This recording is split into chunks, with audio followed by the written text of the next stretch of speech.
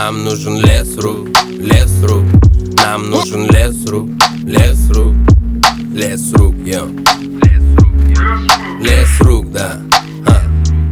До принятия христианства это значит, существовала ли письменность на Руси, в Древней Руси, периода Древней Руси. И я на всякий случай напоминаю, что древнерусское государство, ну, по мнению многих историков, возникло где-то в IX веке и существовало до периода э, татаро-монгольской раздробленности и объединяло всех восточных славян, к которым и относится наш русский язык, о котором мы сегодня с вами и будем говорить. Мы сегодня говорим о письменности древнерусской, русской. Да?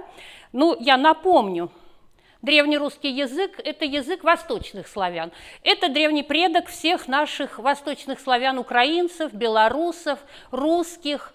А, это был живой язык, на нем разговаривали, на нем общались, начиная от древнерусских племен – которые распростр... были а, по территории распро... распространены, ну вот где-то на территории современной Восточной Европы до Поволжья. Хотела бы сразу сказать, что наша зона Нижегородская, Окска, Волжская, вот это междуречье, это зона позднего заселения. Да? Это у нас то, как Есенин сказал, когда-то замешалась Русь в Мордве и Чуде, славяне здесь появились, конечно, чуть-чуть попозднее, именно восточные славяне. Но и что еще интересно, древнерусский язык – это тот язык, на котором говорили, он имел устную форму, и с X века письменная форма. Основная версия происхождения письменности, я думаю, этой вот э, аудитории, ну, я вижу здесь гуманитариев, она достаточно хорошо знакома. Письменность для славян создавалась греческими, византийскими э, священниками, впоследствии монахами, Константином Философом в крещении Кирилл, поэтому он так нам известен, и его старшим братом Мефодием. Да?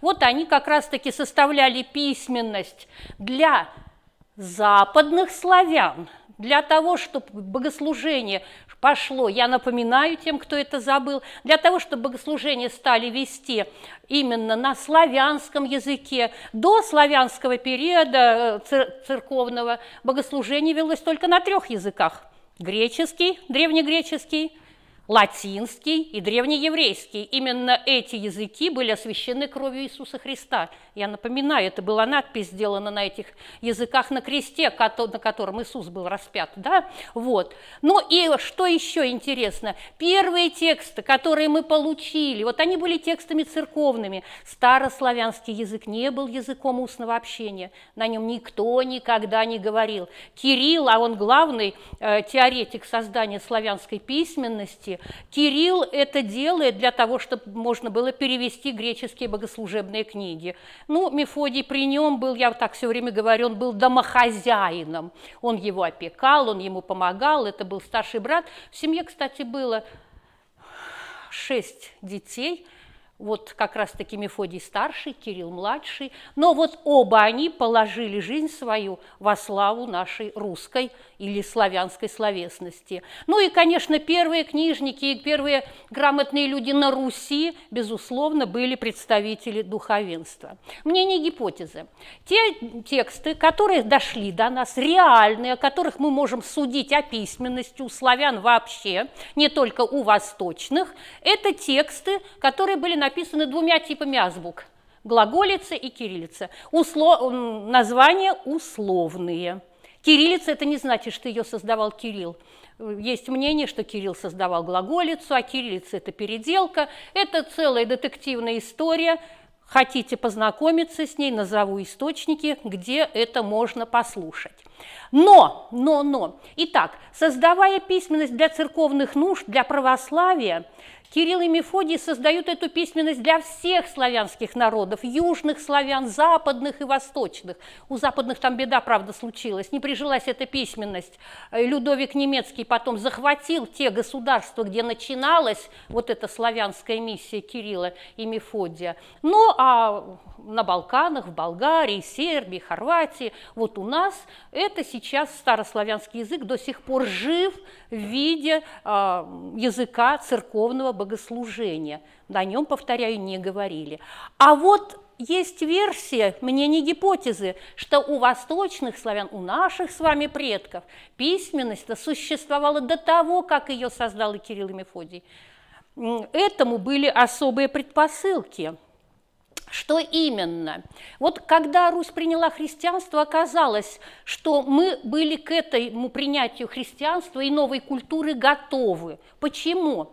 Ну, потому что уж очень быстро все это распространялось. Посмотрите, сразу создаются, ну, храмы понятно, да? Книги переписываются, создаются школы при храмах, у учеников набирают для того, чтобы они переписывали древние тексты.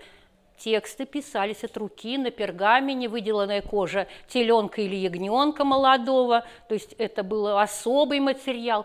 В нашей Ленинской библиотеке, вот здесь, на Варварской, я обещала, кто-то, наверное, был, нам показывают вот эти древние тексты, там текст 13 века есть, написанный на пергамене. Правда, он этот текст на латинском языке написан, но сам вариант этого текста, он необычайно хорош. Так вот, что еще? Создается школа переводчиков, переписчиков. То есть получается, что и сразу создается не только церковная литература, но и светская. Что такое светская литература? Повести, летописание Ярослав Мудрый начинает, это сын Владимира Крестителя Руси. И, соответственно, вот к X веку, к концу X века Русь в принципе была уже готова к тому, чтобы принять чужую культуру и присвоить ее. Присвоить в хорошем смысле слова, да, ее э, синтезировать и сделать ее своей культурой. Вот она, славянская письменность до кириллицы.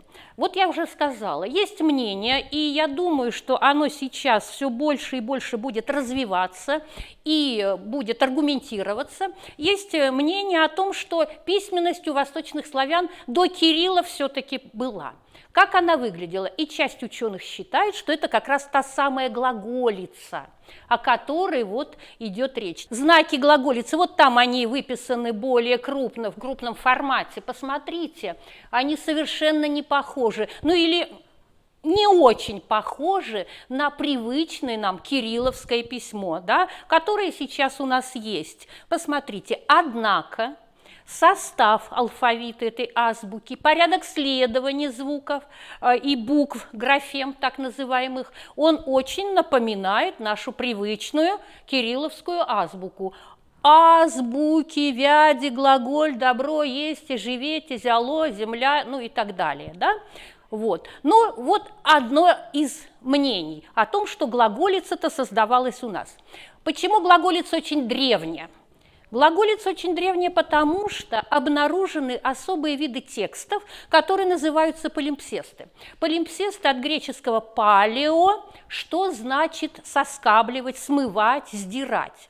Я сказала, писали на коже, да, на пергамене, на коже теленка или ягненка, материал был страшно дорогой, очень дорогой. И чтобы как-то воспользоваться для новых нужд, старый текст стирался, соскабливался, и на него наносился новый. Нам тут помогают физики и химики – это ультрафиолет, инфракрасное излучение, рентгеновские лучи, ну и все остальные штучки, о которых мы, э, нам и знать не надо. Но а, ну, а это свидетельство того, что глаголическая азбука стерта, глаголический текст, а поверх написан кирилловский. Что это значит? Это значит, видимо, что сначала и более древние тексты, как раз-таки вот эти тексты кирилловские, э, глаголические, а кирилловские более поздние кириллические тексты.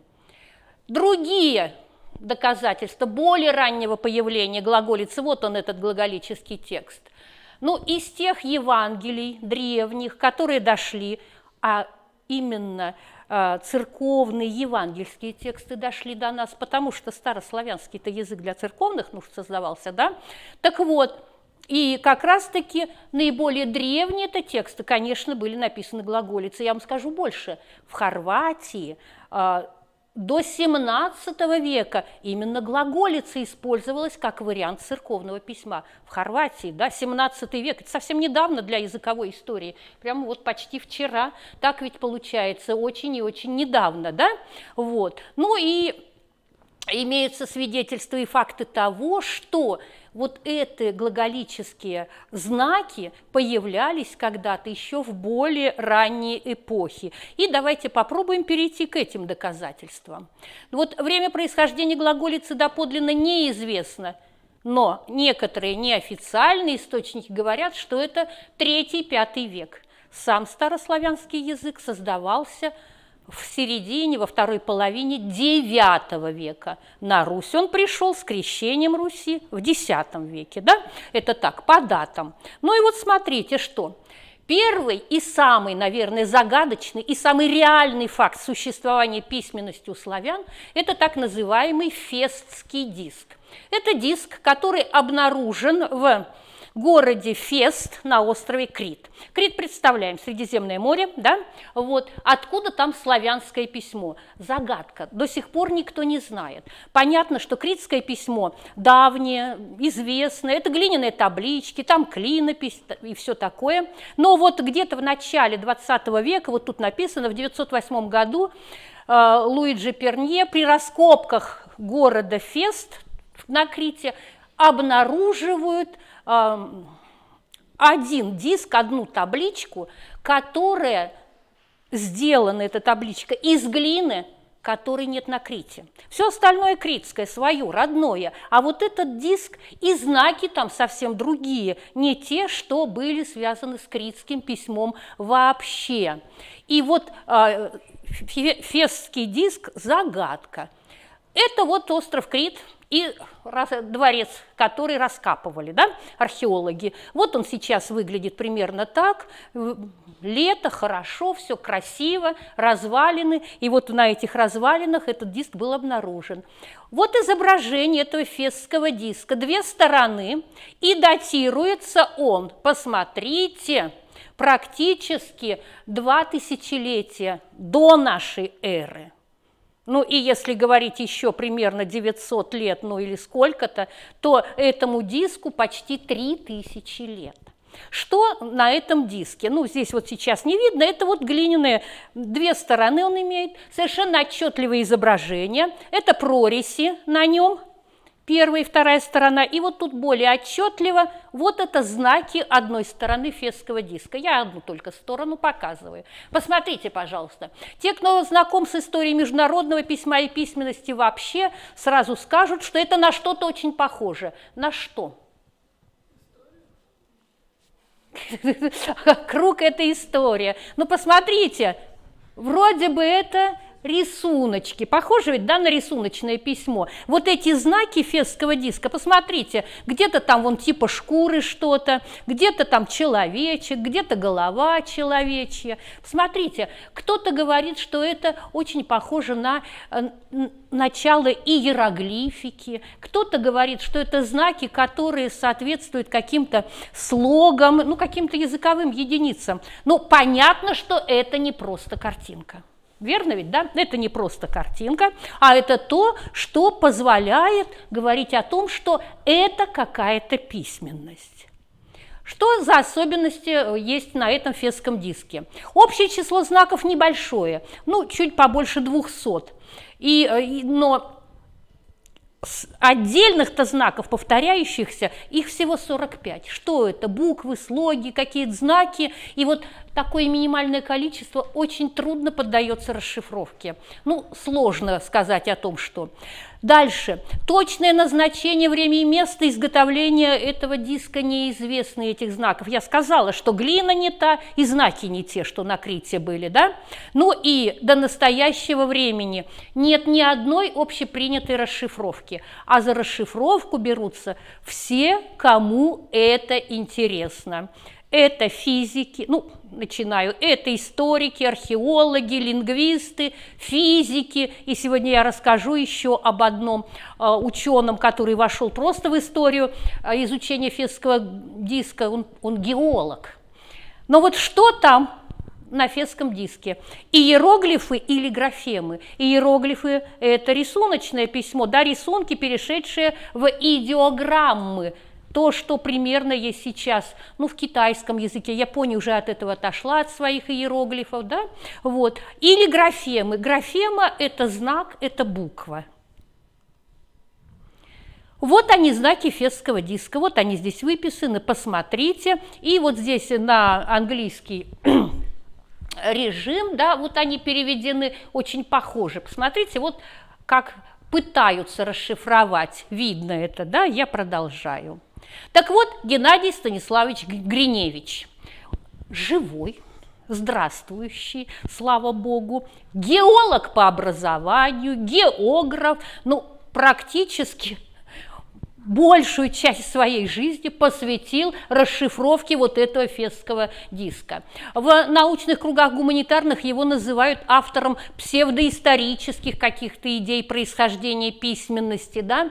Он считает, что вот эта древняя письменность у нас существовала. И фесский диск, по его мнению, был э, перенесен с прародины славян, которую он там расшифровывает «рысиюния». Сидящие здесь филологи, которые уже знают что-то, мы говорили, что «ы» и «у» – два звука, которые практически могут совпадать, правильно, да? Поэтому вот «рысиюния» и Русию, не Русь, вот для Гриневича это, видимо, одно и то же историческое место. И он считает, что когда-то по какой-то причине древние русины э, эмигрировали, прошу прощения за современное слово, да, переселялись, и, соответственно, вот они уже обосновались вот где-то на других территориях. Ну, это просто его перевод фесского диска.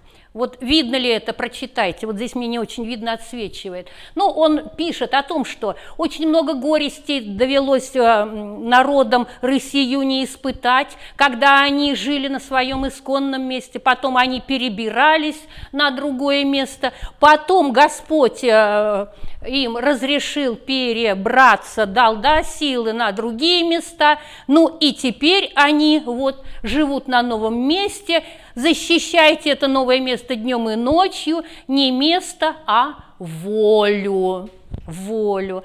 Но не могу не сказать только два слова. А, простор, воля, свобода для славянина. Вроде бы это синонимы, а на самом деле это понятия достаточно разные. Рекомендую Дмитрия Сергеевича Лихачева, который об этом говорит. У нас всегда парные понятия ум, разум, да, воля, свобода, ну и так далее. Об этом можно говорить многое. Ну и надпись на стороне Б будем жить, служа Богу, вот на этом новом месте. Мы двигаемся дальше. Второй текст, который как будто бы доказывает существование письменности до Кирилла и Мефодия у славян. Это так называемая Велесова книга или Влесова книга, а, которая написана особой азбукой. Она получила название по имени этой Велесовой книги «Велесовица». Бог Велес – покровитель мудрости и знаний. На самом деле изначально Велес был покровителем, он был у славян скотьим богом, покровителем скота. Почему для славян это было важно? Даже записанные на латыни наши договоры русских князей с греками в Византии, там написано, что э, византийцы клялись богом Иисусом, а наши, простите, я имею в виду восточные славяне, э, русичи, клялись скотьим богом.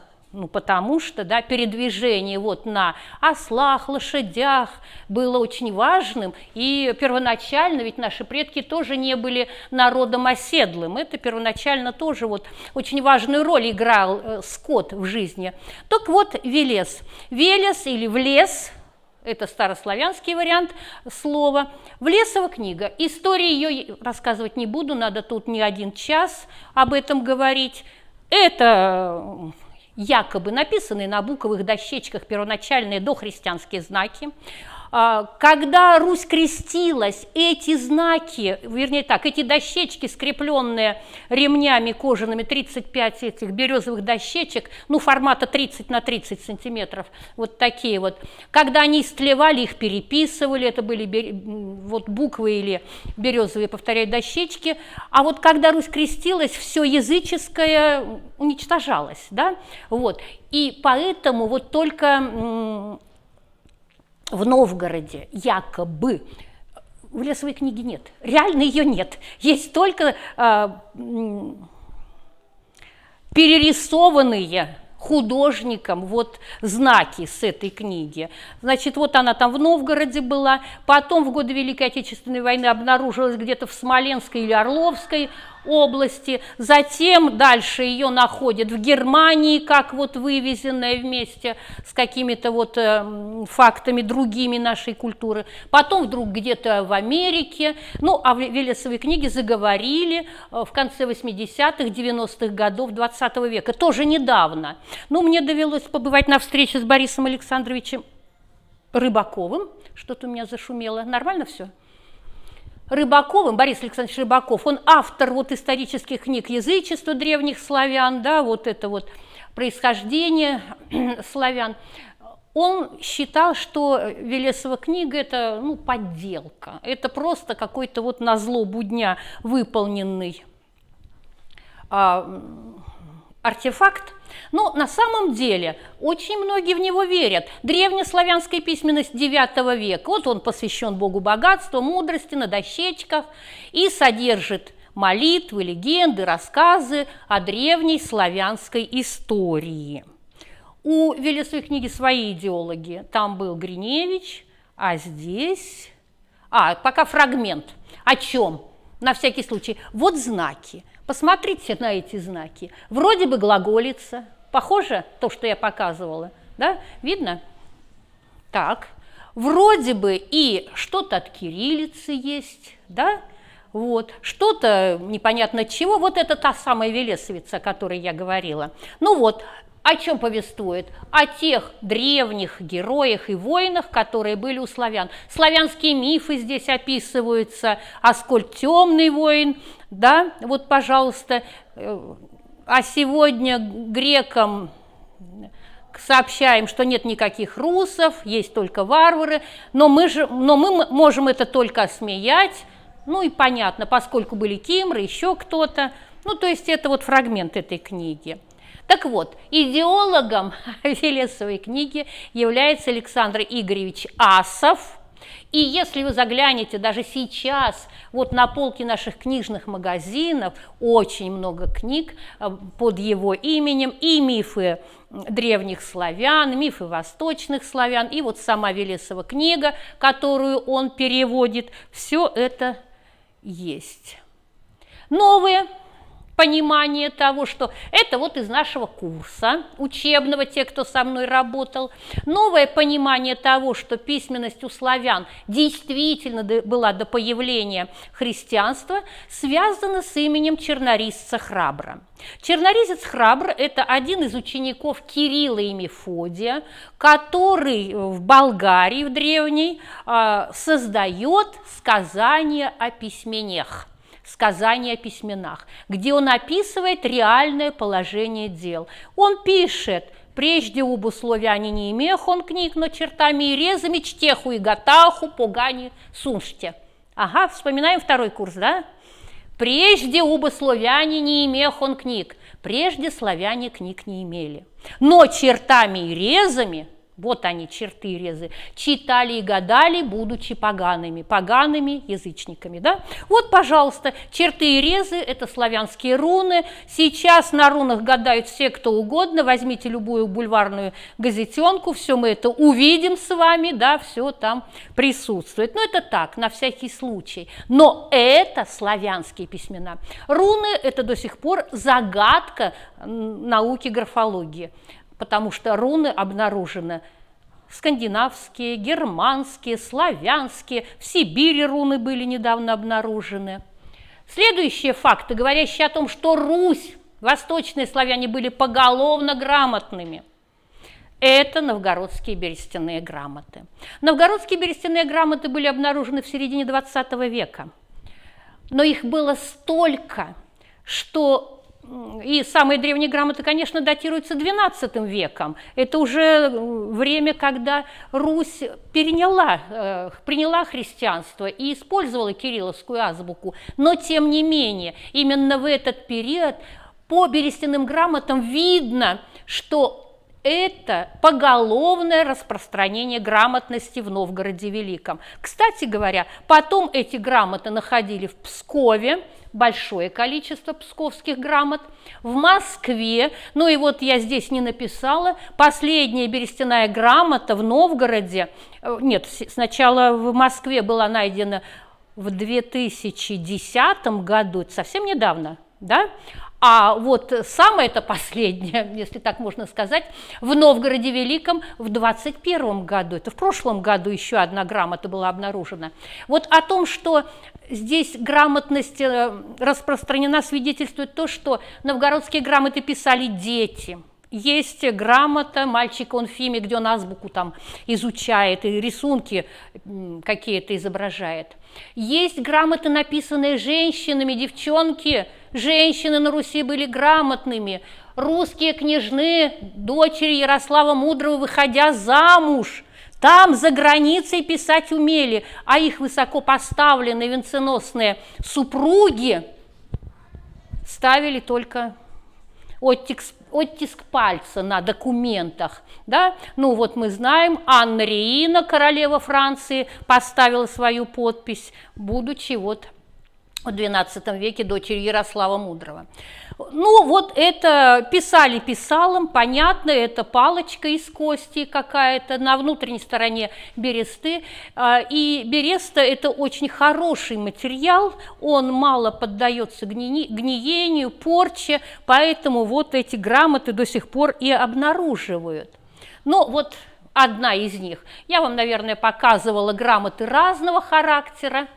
А, они были и вот когда и пишут женщины, а вот эта вот грамота, посмотрите какая, слуга пишет своему хозяину, что вот с сигами они еще позадержались, сиг – это рыба, да, вот, они будут позднее, то есть, посмотрите, вот эта грамотность, он просит прощения за задержку с отправкой рыбы – ну вот, значит, грамоту знали не только и хозяева, но и слуги, я повторяю, и женщины, и дети. Не могу не сказать о личном впечатлении. Новгородские берестяные грамоты мне удалось увидеть в Новгороде Великом. Они хранятся там, а не в столичных музеях или архивах наших. Они хранятся там, в своей собственной публичной библиотеке в Кремле Новгорода Великого. Кремль э, расположен на берегу Волхова, там, э, соответственно, памятник тысячелетия Руси есть, и вот рядом эти палаты, я бы так сказала, палаты библиотеки. В библиотеке эти новгородские грамоты хранятся я уже кому-то говорила, что, будучи студенткой, мне пришлось там писать свою дипломную работу, собирать там материал, дипломную работу, меня туда отправил мой научный руководитель. И, соответственно, вот я там эти грамоты видела. Наверное, я там была первый и последний раз. Ну, насчет последнего не знаю, но первый раз, да? Посмотрите. Итак, новгородские берестяные грамоты, свидетельство грамотности Древней Руси. Что есть еще? Другие источники. Граффити – это изображение и надписи, нацарапанные на каких-то твердых поверхностях. До сих пор находят обломки пряслиц, какие-то камни, а, куски кувшинов, да, корчаг, корчаги, да, это специальные такие емкости для хранения сыпучих или жидких материалов. Ну, эти надписи обычно тоже были связаны с Богом и обычно писали «Господи, помози». После этого начиналась как раз а, просьба.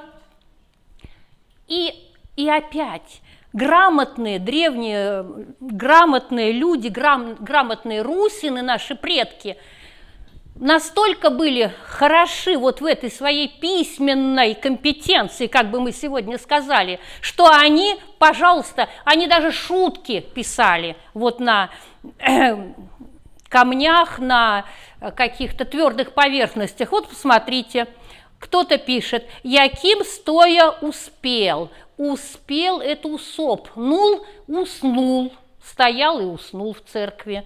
Или посмотрите, Кузьма Видно, кто он? Порося, Кузьма Порося, вот вам дразнилка. Порося, да, вот эти вот, ну понятно, что это поросенок, так же как козля, ягня, теля, так назывались детеныши живых существ в древности. Еще один памятник, о котором не могу не сказать, эпиграфика. Эпиграфик – это тоже э, эпиграфы. Эпиграфик – это наука, которая как раз изучает вот эти надписи на камнях, да, на твердом материале, на бересте. Ну и имеются сведения, что вот эти, э, ну, будем называть памятники – есть очень древний, и один из них, подлинный памятник, который сохранился, это так называемый знаменитый Тьму-Тараканский камень. Тьму-Тараканский камень. Виден ли он? Вот этот Тьму-Тараканский камень был обнаружен у нас в XIX веке. А, сначала он хранился в Тьму-Таракане. Тьму-Таракань – это современный город, находится на Таманском полуострове. Это тот самый город, где Лермонтовский Печорин испытал романтическое приключение с Ундиной. Тьму таракань – это Тамань. Это Тамань. Вот будучи там, на Таманском полуострове, я тоже очень хотела увидеть этот тьму тараканский камень.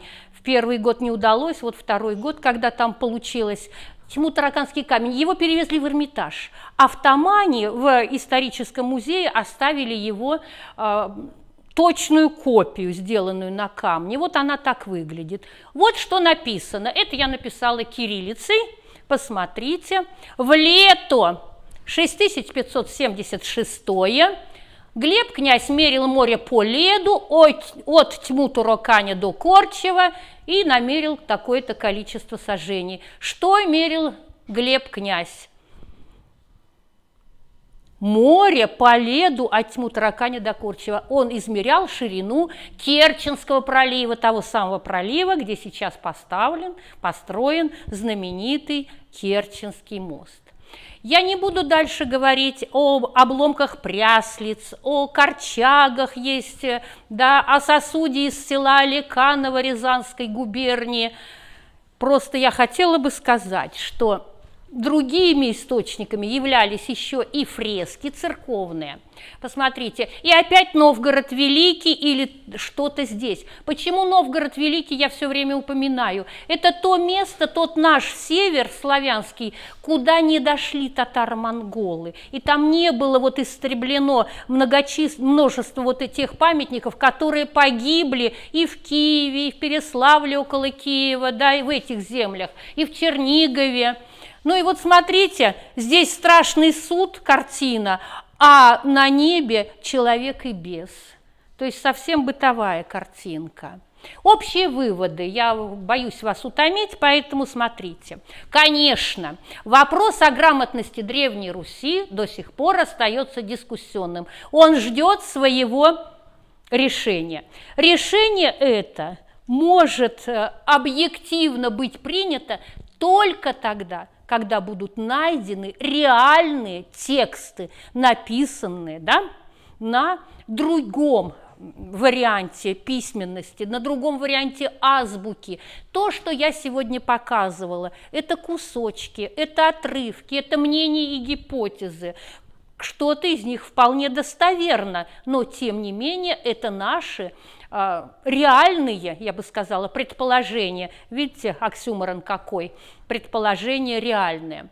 Самыми распространенными и авторитетными, конечно, являются теории, связанные с тем, что изобретение славянской письменности а, это славянский подвиг Кирилла и Мефодия. Это старославянский язык. Напоминаю, старославянский язык не древнерусский.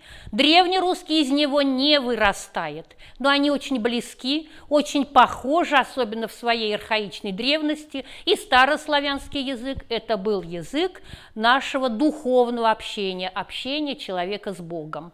Сейчас он таким же и остается, но в виде варианта церковнославянского. И, наконец, последнее – доказательство существования письменности у славян – вполне реальный и объективный. Я благодарю вас за внимание. Я очень надеюсь, что новое знание вы сегодня какое-то получили.